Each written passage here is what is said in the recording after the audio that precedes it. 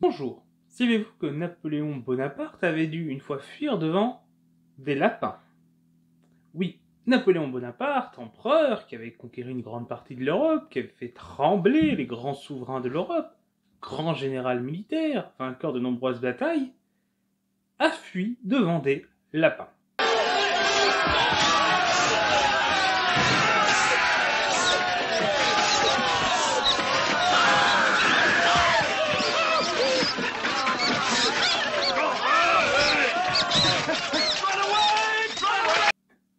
Voyons voir comment cet euh, événement assez surprenant est arrivé. Ça se passe en 1807. Il est alors empereur depuis trois ans et vient de signer un traité de paix avec la Russie et euh, la Prusse, qui est le traité de, de. Euh, nous avons fait une vidéo sur le sujet, donc il y aura le lien en description pour en savoir plus. C'est un traité qui est un succès pour l'empereur. Il était depuis 1806 en guerre contre la quatrième coalition, qui réunissait du coup la Russie la Prusse, mais également le Royaume-Uni et d'autres petits États européens. Quatrième coalition parce que depuis 1792, la France devait affronter plusieurs coalitions qui s'étaient montées contre la France révolutionnaire puis contre la France de Napoléon. Et il avait réussi à remporter plusieurs victoires durant les deux années de conflit 1806-1807. Par exemple la victoire d'Austerlitz, et ainsi il avait pu priver la Prusse d'une grande partie de son territoire et forcer la Russie à s'allier avec lui. C'est donc un succès diplomatique, il confirme sa domination sur le continent européen et se place en situation de force vis-à-vis du Royaume-Uni en associant la Russie au blocus continental. Pour fêter ça, il décide d'organiser une chasse. La chasse étant une distraction des élites. C'était historiquement la distraction réservée à la noblesse durant l'Ancien Régime. Et Napoléon et sa noblesse d'empire vont reprendre ce principe-là. L'usage de la chasse comme pratique sociale était pourtant tombé en désuétude avec la Révolution française. Entre le fait que les forêts qui étaient avant réservées à la chasse étaient devenues des biens nationaux, donc à l'usage de tous, et le fait que le privilège de chasse avait été aboli, ce n'était plus, pendant la Révolution française, la distraction des élites. Mais déjà, sous le directoire, ça va commencer à revenir un peu. Les élites du directoire vont pratiquer la chasse comme distraction, comme marqueur social, et euh, dès 1800, Napoléon va être invité à des chasses.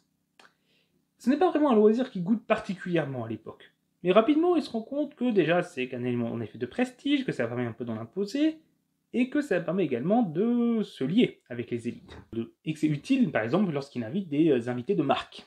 Donc il va développer cet usage de la chasse, se doter d'un pavillon de chasse, mais également développer progressivement des équipages de chasse, c'est-à-dire des chevaux, des chiens, et il va se donner des, des forêts pour pratiquer cette activité et cela va progressivement s'accentuer, notamment à partir de 1804 lorsqu'il va devenir empereur, et que les pratiques d'Ancien Régime vont un peu revenir pour la nouvelle élite de l'Empire.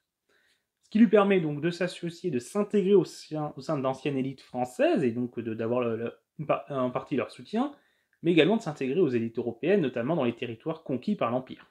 Par exemple, il va organiser une chasse lorsqu'il va recevoir le pape Pie VII, et ça sera une habitude pour lui de chasser avec ses alliés avant et après les campagnes militaires. Donc on voit que la chasse est un élément de distraction, mais aussi surtout un élément marqueur social et de diplomatie.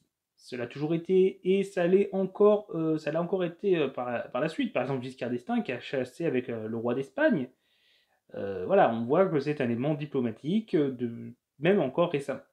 Donc, en 1807, c'est assez naturel, après cette victoire, d'organiser une chasse. Donc il demande au chef d'état-major Alexandre Berthe d'organiser cette chasse, et pour cela, il va acheter des milliers de lapins qui vont être lâchés dans la forêt où l'empereur prévoit de chasser.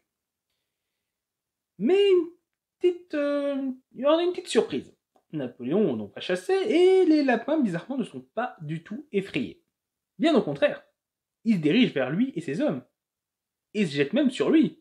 Par milliers, ils foncent vers l'empereur, et au début, lui et ses hommes, bon, s'amusent à tirer dessus, mais oh, c'est cool, ils viennent, on tire dessus. Sauf qu'ils continuent de venir, et finissent par être submergés par le nombre. Et donc, on a les lapins, on commence à monter sur l'empereur, lui griffer les jambes, monter sur, euh, sa veste, il essaie de les chasser avec la crosse, euh, ses hommes prennent des bâtons pour les chasser, t'as même les cochers avec leur fouet, mais rien n'y fait, ça ne les met pas en euh, déroute. La marée animale les submerge. Et finalement, l'empereur, va être obligé de se replier vers son, sa voiture et prendre la fuite. La garde meurt mais ne se rend pas, sauf face au lapin.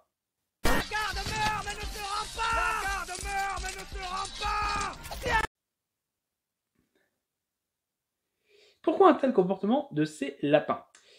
En fait, ils ont été pris, c'était des lapins domestiques achetés à des agriculteurs locaux qui n'avaient pas peur de l'homme. Ils avaient l'habitude d'être nourris par l'homme. Et donc, en fait, ils ont cru que l'empereur et ces hommes étaient venus les nourrir. Donc, ils sont venus chercher à grailler. Et comme on leur donnait pas à grailler, ils ont insisté. Et du coup, euh, du coup voilà, c'est ça qui explique cet événement un peu euh, étrange et que l'empereur s'est retrouvé à, devoir fuir. Ce qui, bon, voilà, serait arrivé à, peu près n'importe qui, je pense, euh, face à des milliers de lapins. Parce que mine de rien, le nombre, ça peut compter, même qu'on ait des lapins. Donc voilà, c'est terminé pour cette petite vidéo. J'avais trouvé cette anecdote marrante à raconter et que c'était un peu aussi l'occasion de, dire quelques petites informations sur l'usage de la chasse en fait sous l'Empire. Parce qu'on sait que la, chasse a été un élément important durant l'Ancien Régime pour la noblesse, mais euh, voir un peu euh, comment ça a évolué du coup sous la Révolution française, puis du coup sous l'Empire.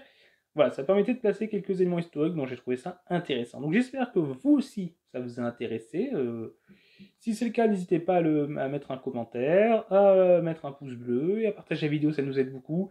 Et même si vous admirez Napoléon, cette vidéo n'était pas là juste pour se foutre de lui, donc euh, ne vous énervez pas. Prenez ça avec dérision s'il vous plaît. Et puis voilà. N'hésitez pas également à vous abonner pour ne pas rater nos prochaines vidéos. Au revoir tout le monde